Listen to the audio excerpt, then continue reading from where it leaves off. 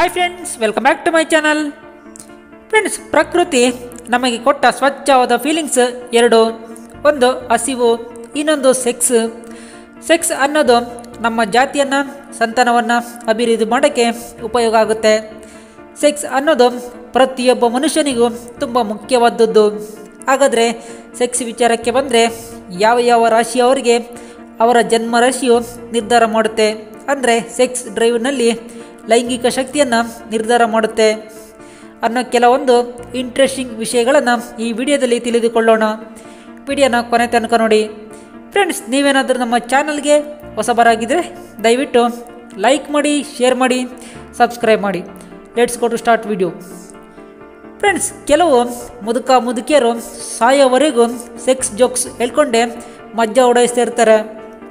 ಇನ್ನು ಕೆಲವರು ಅದರ ಬಗ್ಗೆ ಸ್ವಲ್ಪವೂ ಆಸಕ್ತಿ ತೋರಿಸೋದಿಲ್ಲ.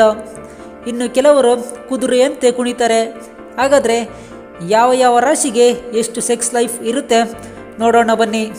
ನಂಬರ್ ಒನ್ ಮೇಷರಾಶಿ. ನಂಬರ್ ಟು ಮಿಥುನ ರಾಶಿ. ಇದನ್ನು ನಾನು ಆಲ್ರೆಡಿ ವಿಡಿಯೋ ಮಾಡಿದ್ದೇನೆ.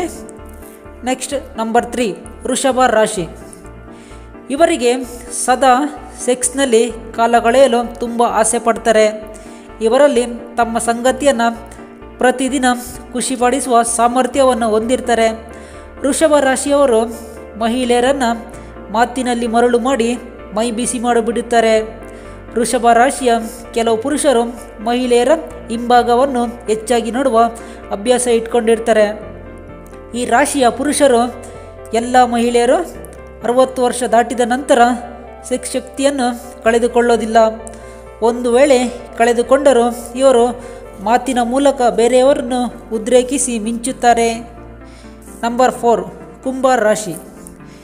ಇವರು ದಾಂಪತ್ಯ ಸುಖ ಅನುಭವಿಸಿ ಅದು ಸಾಕಾಗದೆ ಹೊರಗೆ ಹೋಗಿ ಸೆಕ್ಸ್ ಹೊಂದಲು ಹೆಚ್ಚಾಗಿ ಇಷ್ಟಪಡ್ತಾರೆ.